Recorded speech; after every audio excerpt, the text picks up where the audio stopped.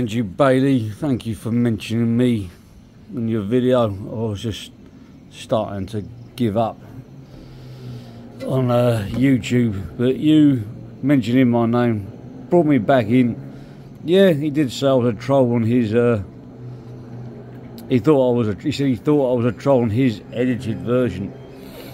He's only putting some highlights up of the bits where he done well. Did he beat the shit out of me? Well, three two-minute rounds still on my feet, no knockdowns. Um, you don't know because you weren't there. And he had some nice words to say about me afterwards, and I've got a lot of respect for him too.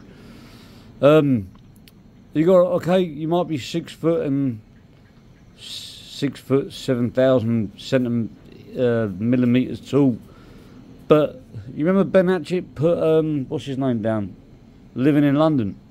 He's taller than him. No, size does not matter unless you know what you're doing with it. And don't get me wrong, if you're six foot seven and, and you're very, very round, rounded, skilled fighter, yeah, you give someone a lot of headaches, probably knock some, put someone to sleep. But, but being big doesn't mean that you're necessarily proper hard. I mean, some of the people I've sparred against, don't forget that was my first exercise in a month. I was straight into it, so it was a good little warm up for me. I spar like that once a week at least, sometimes twice. Now that was a spar, that wasn't even a fight. Um, and, and I'm and I'm happy that he, you know, he came around. He made some content. I could have made some better content if I knew he was filming, but that's just the way it is. That's where the cookie crumbles. But um, if you haven't got any real fight experience, Andrew Bailey, Ben Hatchett would wipe the floor with you 100%. Doesn't matter how big you are. I mean, how big's Mr. Blobby? I don't know.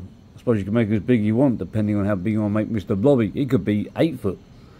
You know, you push him down, he's just one big marshmallow, isn't he? A bit like you.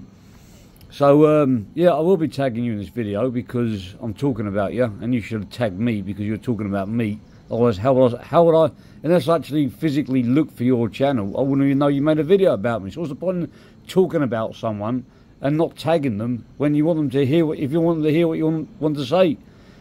I don't think Ben Hatchett would even bother with you, but you know, good luck if you do. You might have to. The reason why he called me a troll was because he wasn't picking up my messages. And all I wanted was just a spar with him, just want a bit of training with him because he's out here and you know he was near me. So uh, to get his attention, I called him a melt, which was, which he knows towards the end that that was just my way of getting his attention.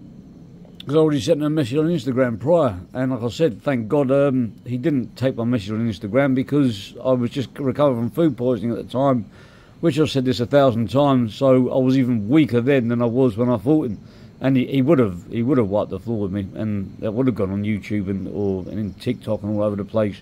There's nothing I could have done about it. But at the end of the day, you know, he's a he's one of our dark corner YouTube or on the corner YouTube. He's in my back garden. He's going to hang around and wait for me. So it's either now or never. So, you know, if you really want to fight someone, then fight them. Unlike, you know, waiting six weeks or waiting to New Year, you just go. If you got a problem with someone, you do it. Or even if you just want to spar with someone, even the JDP and the other geezer, you know, at the end of the day, like, if you two men want to fight, it's like, uh, oh, could you imagine, like, if, can you imagine if a man wanted to date a woman and he said, I need six weeks to get ready before I can come and meet you on a date? Do you think she's going to sit around and wait for you? Oh, dear. The two men want to fight. Why do you need six weeks to get into shape? I mean, if one person wants to do the other one, he must already be in shape. Otherwise, you wouldn't call him out. And the other person who he calls out has got the right to decide whether they want to do it now or never or later. But then if someone's going to turn up anyway, then whether they like it or not, then, well, I don't know. Uh, anyway, uh, anyway, this is toward, I mean, if this is towards you, Andrew Bailey, you mentioned my name, and yeah, I will tag you in this. Um, because I'm talking about you. And I tried to get on your live the other day, and you wouldn't let me on. You wouldn't put the link out. It was just a cosy little chat between you and Smoky Boy.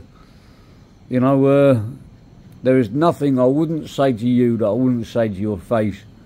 And I would definitely get them, especially now. Now I've got, you know, started to work, get my cardio back up and started getting back into things and, you know, tracing a couple, training a couple of times a week. You know, back to my normal self. I, I would, I would, if you, I would, in a second, if you were out there, I wouldn't even, unless I'll just take my medicine before bed. I'll meet you there and then if you was to uh, message me saying like I'm in a near proximity of it, do you want to meet up? unless I was exhausted, I'll probably I'll do what I did like with Bouncer said next morning. But uh, you know, I'm same similar height as him. He's not five foot four. He's at least five foot eight at least. He's about my height.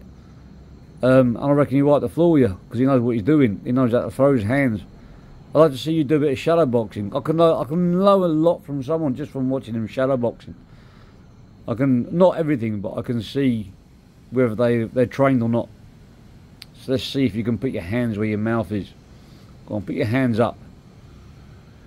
You know, this is a small glove. My kids use these.